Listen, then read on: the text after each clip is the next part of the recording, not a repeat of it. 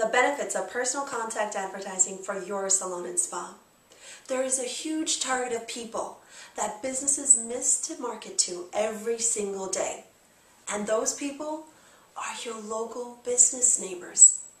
Think about it. Have you spoken to every business that's located in your office building? Do they know about the special uh, services that your salon and spa have to offer?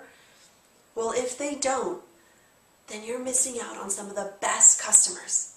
Simply because they're right there in your office building. They could get all their salon and spa needs all in one spot.